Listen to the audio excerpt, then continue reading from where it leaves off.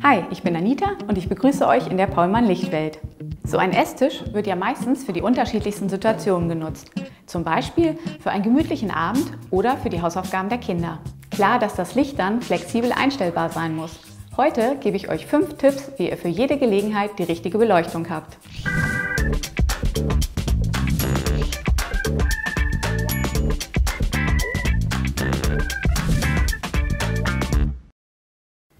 Für die Beleuchtung eines Esstisches empfehle ich euch das Ural-System mit Pendelleuchten. Richtig angebracht verhindern die Pendel Schatten und leuchten den Esstisch richtig gut aus. Tipp 1. Länge der Pendel.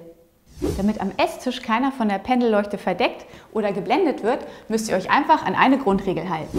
Die Pendelunterkante sollte in etwa 60 bis 70 cm über der Tischplatte hängen. Gleiches gilt übrigens auch für die Pendel über einem Tresen. Tipp 2.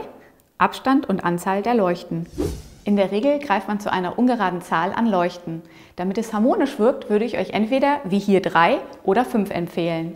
Der Esstisch sollte dabei natürlich immer gleichmäßig ausgeleuchtet sein. Ihr teilt den Tisch zunächst in Viertel auf und platziert dann die Pendelleuchten auf den Trennern. Tipp 3. Dimmbarkeit der Lampen.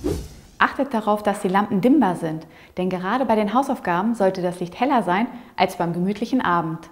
Übrigens, mit dem Ural-System ist das gar kein Problem. Tipp 4. Die Farbtemperatur.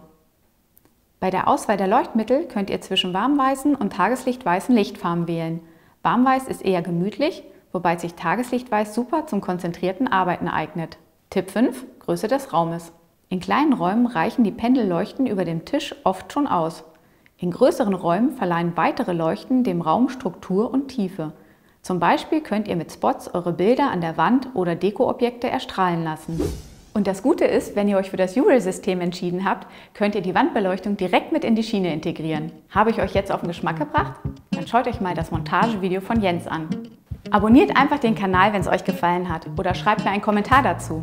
Ich freue mich, wenn ihr das nächste Mal wieder dabei seid. Eure Anita.